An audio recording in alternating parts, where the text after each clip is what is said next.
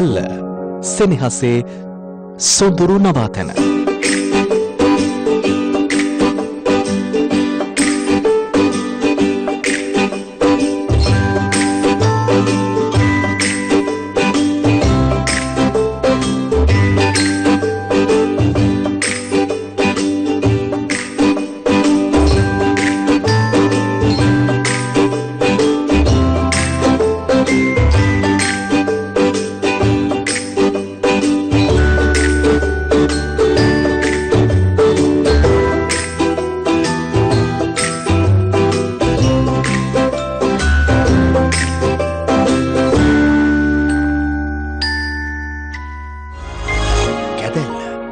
කුමාර පර්ණමාන ආකිටෙක් තමයි අපිත් එක්ක අද එකතු වෙලා ඉන්නේ. මෙවැනි කුඩා පර්ටස් ප්‍රමාණයකින් මෙවැනි ලස්සන නිවසක් නිර්මාණය කරගත්තේ කොහොමද කියලා අපිට කියන්න පුළුවන්ද? ඇත්තටම ඉඩකඩ ප්‍රමාණය අඩුවීම ආකිටෙක් කෙනෙකුට අභියෝගයක්. හැබැයි ඒ අභියෝගය ජය ගන්න පුළුවන් අභියෝගයක්. ඒ සඳහා විවිධ වූ ක්‍රමෝපායන් තියෙනවා. මෙහිදී මම gedara ස්ථානගත කිරීමේදී යම් යම් ක්‍රියාමාර්ග ගත්තා. විශේෂයෙන්ම අහිමි වෙන ගාඩන් ප්‍රමාණය රූෆ් ටෙරස් එකක් මගින් මම සපුරා ගත්තා. ඊට අමතරව අවකාශ පෙළ ගැස්ම අවකාශ නිර්මාණය ආදී තැන්වලදී ඒ ගැටලුව මම මගහැර ගත්තා. ඒ වගේ ක්‍රියාමාර්ග වලින් තමයි කුඩා ඉඩකඩක මම ගොඩනැගිල්ල සැලසුම් කරේ. දැන් ගොඩක් ගෙවවල පොන්ඩ් එකක් නැත්තම් මැදි මිදුලක් තියෙනවා. නමුත් මේ ගෙදර ඒ අතින් බලනකොට හරි යුනික්.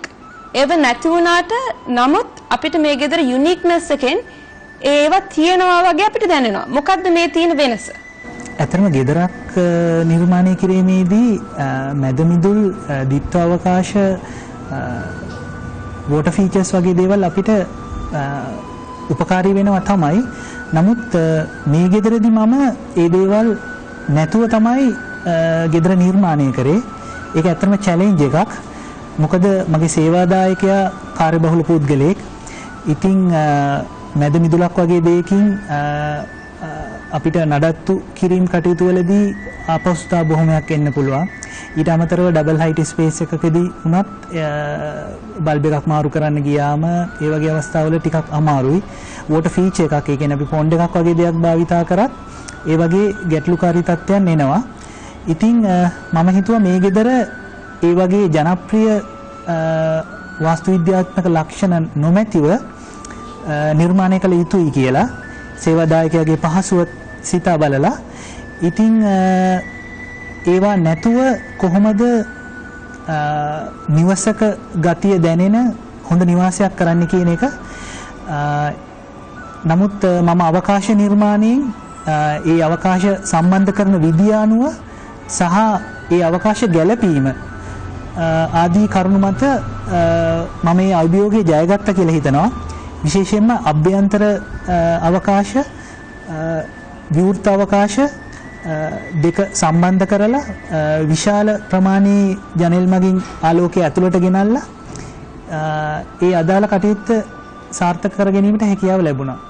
එනර්ජි සේවින් කියන එක මේ දවස්වල ගොඩක් කතා වෙන දෙයක්. අපිට කියන්න පුළුවන්ද මේ ගෙදරට එනර්ජි සේවින් එක කොහොමද යොදාගෙන තියෙන්නේ? ඇත්තටම එනර්ජි සේවින් කිව්වම කොටස් දෙකක් තියෙනවා. එකක් තමයි නිර්මාණය නිවස නිර්මාණය කරන්න අවස්ථාවේ එනර්ජි සේවින් කිරීමට ගන්නා මූලික දේවල් ඊට අමතරව නිවස ගොඩනැගීමෙන් පසුව මොනවද ඒ කියන්නේ පාවිච්චි කරන විදුලි උපකරණ ඒ ආදී දේවල් වලින් කොහොමද එනර්ජි එක සේවින් කරගන්නේ කියලා. ඒ අනුව මුලින්ම වැදගත් වෙන්නේ වඩා වැදගත් වෙන දේ තමයි කොහොමද නිර්මාණයකදී එනර්ජි එක සේව් කරගන්නේ කියලා. ඒකෙදි ගොඩනැගිල්ලක නම් ප්‍රධානම දේ තමයි ගොඩනැගිල්ල කොහොමද ස්ථානගත කරන්නේ කියන එක. ඒ අනුව මෙවැනි නිවස ස්ථානගත කරලා තියෙන්නේ බස්නාහිර නැගිනහිර කියන දිශානතියට. ඒ අනුව ඒ ඒ දිශානතියට අපි අඳබිත්ති කියන එක තමයි පාවිච්චි කරලා තියෙන්නේ. එතකොට ආලෝකයේ කෙලිම පතිත වෙන්නේ අඳබිත්තියකට. එතකොට නිවස තුළට ඒ අඳබිත්තිය අපි කවුළු යොදාගෙන නැහැ. එතකොට ඒ නිවස තුළට එන අ, තාප ප්‍රමාණය අඩු වෙනවා. අ, තාප ප්‍රමාණය අඩු වෙනවා කියන්නේ අපිට පාවිච්චි කරන්න ඕන AC ඒ වගේ දේවල් වල අ, ප්‍රමාණය අඩු වෙනවා. විශේෂයෙන්ම බස්න නිවසේ බස්නාහිර දෙසට අ, ඉහළ මහලෙන් තමයි අපිට වැඩිපුරම තාපය එන්න ඉඩ තියෙන්නේ. අපි ඒ ඒ ප්‍රදේශයට අ, ඩිසයින් කිරීමේදී අ, නාන කාමර දෙකක් අපි යොදලා තියෙනවා. ඒ අනුව අ, තාප අ, නිවස් තුළට එන තාපයේ සෑහෙන දුරට අඩු වෙලා තියෙනවා. අ, මීට අමතරව අපි මේ නිවස් සඳහා හැකිතාක් දුරට අ, ස්වාභාවික ආලෝකය සහ වාතාශ්‍රය පාවිච්චි කරනවා. අ, ඔබට දැන් පේනවා ඇති අ, නිවස සෑහෙන දුරට ආලෝකමත් ඊට අමතරව අ, ස්වාභාවික වාතය ඇතුළට එනවා. ඊට අමතරව ක්‍රොස් වෙන්ටිලේෂන් හරස් අ, වාතය ගලාගෙන යාම කියන එක අපි මේ නිවස් තුළ ඇති කරලා තියෙනවා. ඒ අනුවත් අ, නිවස් තුළ සෑහෙන එනර්ජි සේවින් එකක් වෙනවා. මීට අමතරව අපි මේ නිවස ආලෝකමත් කිරීම සඳහා පාවිච්චි කරේ තනිකරම uh, LED uh, light fittings. ඒ අනුව එතනත් එනර්ජි සේවින් එකක් වෙනවා. ඊට අමතරව නිවස සඳහා අ, සූර්ය තාපය මගින් තමයි හොට් වෝටර් සප්ලයි එක තියෙන්නේ. ඉතින් ඒ වගේ ක්‍රියාමාර්ග වලින් තමයි අපි නිවසේ එනර්ජි සේවින් එක සිදු කරලා තියෙන්නේ. අපි කුමාරත් සමග මේ විරාමයෙන් පස්සේ ඉන්ටීරියර් ඩිසයිනින් ගැන කතා කරන්න බලාපොරොත්තු වෙනවා.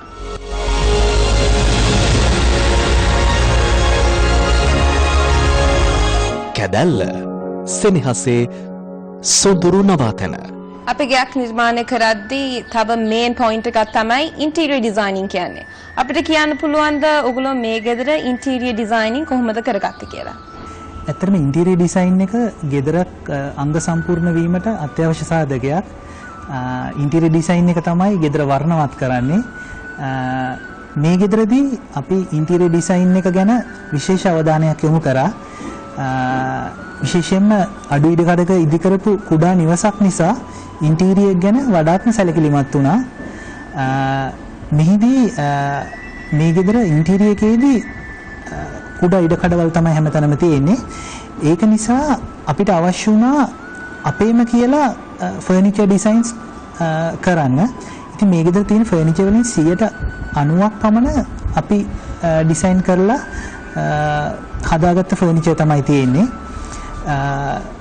අ, ඒ ෆර්නිචර් අපගේ අපි කලින් ඩිසයින් කරපු ස්පේස් එකට මනාව ගැලපෙනවා. ඒවයි වර්ණ, ඒවයි ෆීචර්ස් ඊට අමතරව ඉන්ටීරියර් ඩිසයින්ස් වලදී අ, තිර රෙදි අ, පාවිච්චි කරන අ, විස්තරු භාණ්ඩ අ, විශේෂයෙන්ම අ, අ, බිත්ති එල්ලෙන පේන්ටින් එක පවා අ, ඒකේ වර්ණ ගැන පවා අපි සැලකිලිමත් වුණා.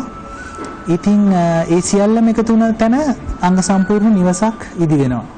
දැන් මම බලන බලන හැම පැත්තම සුදු පාටයි. මට කියන්න පුළුවන්ද මේ කලර් කම්බිනේෂන් එක කොහොමද මේ ගෙදරට යොදාගෙන තියෙන්නේ කියලා?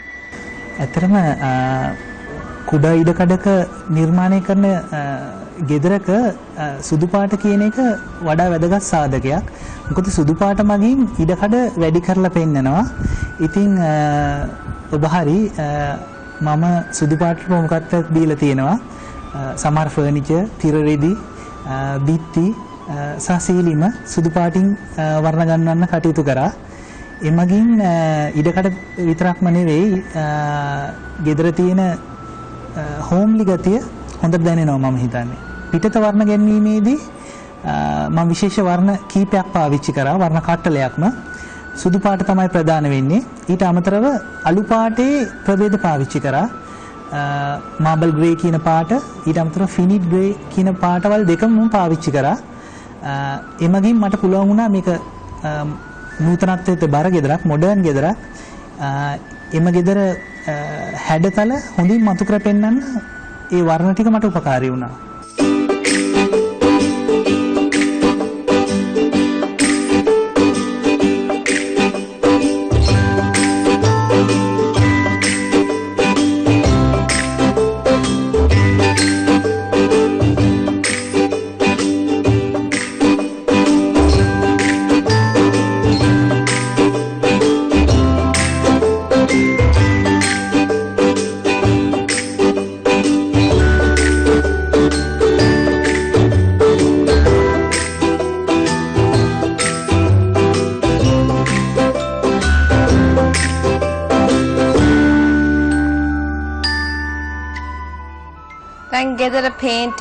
පික්චර්ස් වල ෆ්‍රේමින් ගත්තම ඒව ගැන මේ කල කම්බිනේෂන් එකත් එක්ක ඔයා ඒ- ඒ පිළිබඳව හිතුවද? ඔව් ඇත්තටම ඒක වැදගත් ප්‍රශ්නයක්. අ, අ, මේ මේ ගෙදර වැඩි හරියක් සුදු පාට තමයි නියෝජනය කරන්නේ. එතකොට මට අවශ්‍ය වුණා සුදු පාට සමග තවත් කලර් කීපයක් එකතු කරලා පොඩි ඩයිනමික් ගතියක් ගෙදරට එක් කරන්න. ඒකදී මට පාවිච්චි කරන්න තිබිච්ච හොඳම උපාංගය අ, දේ තමයි අ, නිවස සඳහා පේන්ටිං සහ ෆොටෝස්. ඉතින් අ, අ, මේ මේ මේ මුළු නිවසේම පේන්ටිං සඳහා චිත්‍ර ශිල්පියෙක් දායකත්වයේ දැක්වුවා. ඔහුගේ නිර්මාණ අ, වල තියෙන කලර්ස් බොහොම කලර්ෆුල් වර්ණවත් නිර්මාණ තමයි තියෙන්නේ. අ, එම නිර්මාණ මගින් මෙම සුදු පැහැති ඉන්ටීරියර් එක අ, පොඩක් ඩයිනමික් තත්යකට අරගෙන ගියා. දැන් මම මේ ගෙදර කාමරයකට ගියාම මම දැක්කා කොහොමද ඉතින් බිත්ති සුදුයිනේ. ඒතර දැන් තියෙන කබඩුත් සුදුයි. එකම එකයි සුදු පාට නැතුව තිබ්බේ. ඒ කියන්නේ දුමුරු පාට දොරක් තිබ්බා. වුඩන් දොරක් තිබ්බා. මොකක්ද ඒක තියෙන වෙනස? මොකක්ද ඇයි ඒකත් සුදු පාට නොකරේ?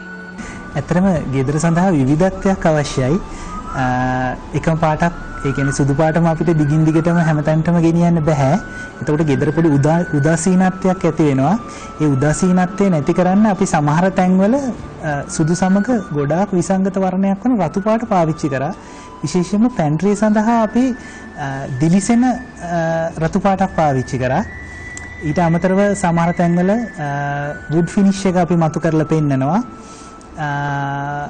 ඒ වගේ දේවල් වලින් අපි වර්ණවල තියෙන මොනටනි එක කඩලා පොඩි උදාසීනත්වය නැති කරලා පොඩි උද්‍යෝගීමත් උද්‍යෝගීමත් බවක් ගෙදරට ලබා දෙනවා. මේ ෂෝට් කමර්ෂල් බ්‍රේක් එකෙන් පස්සේ අපි ලෑන්ඩ්ස්කේප් ගැන කතා කරමු.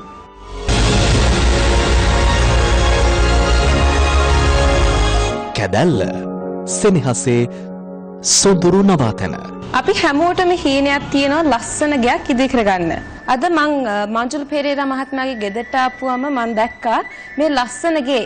ඒ අනිවාර්යෙන් එතුමාගේ හීනය තමයි. අපි අහමු කොහොමද මේ ලස්සන ගෙදර නිර්මාණය කරගත්තේ කියලා. මේක ගේ හදන්න ඕනේ කියලා අදහසක් ආවම මට ඇත්තටම මම ව්‍යාපාර කටයුතු කරන නිසා මට ගාලු පාට ළඟින් තමයි පදිංචි වෙන්න අවශ්‍ය වුණේ. ඒක නිසා මම ඇත්තටම අ, රවීන්ද්‍ර කුමාරව මම අඳුරනවා. එයාව හම්බෙලා මම ඇත්තටම එයාව එක්කන් ආවා මේ ඉඩම ගන්න ඉස්සෙල්ලා මට මොන වගේ එකක් මෙතන හදන්න පුළුවන්ද කියලා බලන්න. ඇත්තටම එයා මට දවස් දෙකක් ඇතුළත කිව්වා මට මේ වගේ මට අවශ්‍යතාවය තිබුණේ මගේ කාමර ප්‍රමාණය සහ මගේ අනිකුත් දේවල් මම එයාට කිව්වා වාහන දාන්න ඕන ප්‍රමාණය. ඒවා කිව්වෙන් පස්සේ අ, එයා තමයි ඇත්තටම මට හදලා දුන්නේ මේ කරලා දුන්නේ මේ මේ වගේ ගයක් කරන්න පුළුවන්. මෙතන මේ තියෙන බොහොම සීමිත ඉඩකඩක් ඒකේ කරන්න පුළුවන් මේ වගේ දෙයක් තමයි කියලා කිව්වම මම ඊට පස්සේ ඉඩම ගන්න ඉස්සෙල්ලා අග්‍රී වුණා ඇත්තටම මේකේ මේ විදිහට කරන්න පුළුවන් නිසා මේ ඉඩම ගන්නවා කියලා. මම ඉඩම ගන්න තැන ඉඳලා තමයි එයාව සම්බන්ධ කරගත්තේ.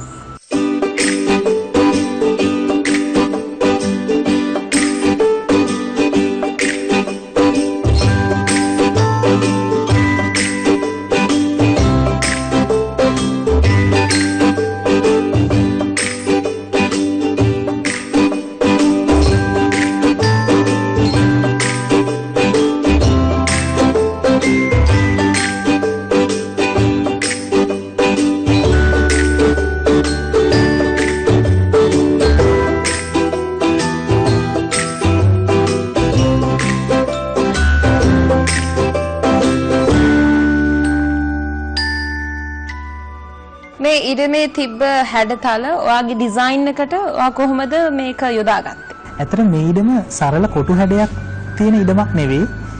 මේ විසංගත හැඩතල කීපයක් තියෙන ඉඩමක්. එතකොට ඒක මම මගේ නිර්මාණය සඳහා දායක කරගත්තා. ඉඩමේ අ, වෙනස් වන හැඩයක් සහිත කුඩාවන බිම් කොටස මම ඉඩමේ රියල් ස්පේස් එක විදිහට පාවිච්චි කරා. ඒ රියල් ස්පේස් එක තමයි ඉඩමේ මේන් ගාඩන් එක වෙන්නේ.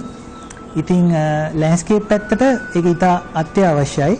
ගෙදරට එන ඕන කෙනෙක්ට සාලය අ, ගෙදර සාලය සහ කෑම කාමරය කියන අ, අවකාශ මුණ දාලා තියෙන්නේ ඒ කුඩා අ, ගාඩන් ස්පේස් එකට මේ ගාඩන් ස්පේස් එකේ විශේෂත්වයක් තියෙනවා. අපි ලෑන්ඩ්ස්කේප් වලදී පාවිච්චි කරන ලොකුම උපකරණයක් තමයි අපි අ, නඩත්තු කටයුතු වැඩි ලෑන්ඩ්ස්කේප් එකක් මේ ඉඩම සඳහා පාවිච්චි කරේ නැහැ. අ, ඉතා පහසුවෙන් අ, නඩත්තු කළ හැකි කොළඹ ප්‍රදේශයේ අ, දේශගුණයට ඔරොත්තු දෙන ශාක සහ පඳුරු අ, තමයි අපි මේ ලෑන්ඩ්ස්කේප් එක සඳහා පාවිච්චි කරේ. ඉතින් අ, ඒක විශේෂ ලක්ෂණයක් අපි නඩත්තු කරන්න අමාරු අසීරු අ, උද්‍යානයක් නඩත්තු කරනවට වඩා නඩත්තු කරන්න පුළුවන් සරල අ, උද්‍යාන ක්‍රම පාවිච්චි කරන එක හොඳයි කියලා මට හිතෙනවා. අපි රූෆ් টොප් එක දැක්කම මේ ඊටමත් ඒ කියන්නේ වෙනස් මටීරියල් එකක් තමයි භාවිතා කරලා තියෙන්නේ. මොකක්ද මේ මටීරියල් එක? ඇයි ඒක භාවිතා කරේ? ඇතර අපි රූෆ්ටොප් එක සඳහා ටෙරාකොටා ටයිල් එකක් තමයි භාවිතා කරේ. ටෙරාකොටා කියන්නේ මැටි සහිත ටයිල් එකක්. රූෆ්ටොප් එක රත් වෙනවා. එතකොට ඒ රත් වූ රත් වුණාට පස්සේ රූෆ්ටොප් එකේ යට තියෙන බෙඩ්රූම්ස් රත් වෙන්න පුළුවන්. ඉතින් ඒක නිසා අපි විශේෂ ටයිල් එකක් විදිහට ටෙරාකොටා ටයිල් එක පාවිච්චි කරා. ටෙරාකොටා ටයිල් එක මැටි සහිත ටයිල් එකක් නිසා අ, පහළ කාමරවලට වෙන බල අ, තාප අ, සූර්ය තාපයෙන් වෙන බලපෑම හරිම අඩුයි. ඉතින් අ, අපි ඒ ටයිල් එක සාමාන්‍ය ටෙරකොටා ටයිල් පාවිච්චි කිරීමේදී අ, පාසි බැඳෙනවා කියලා ගැටලුවක් තියෙනවා. අපි ඒ සඳහා නැනෝ කෝටින් එකක් අ, අ, එම ටයිල් එක මත ආලේප කරලා තියෙනවා. ඒක නිසා අපිට ඒ ගැටලුව ඇති වෙන්නේ නැහැ. ඒ මගින් අ, පහළ නිදන කාමරවල අ, සුවදායී තත්ත්වයක් ඇති වෙලා තියෙනවා. බොහොම ස්තුතියි අපේ බර්සාත් සමග එකතු වුණාට කුමාර මහත්මයා. ලබන සතියේ මේ වගේ ලස්සන නිර්මාණයක් අරගෙන ඕගොල්ලොන්ගේ නිවහනට එන්න අපි බලාපොරොත්තු වෙනවා. එතෙක් සුබ සතියක්.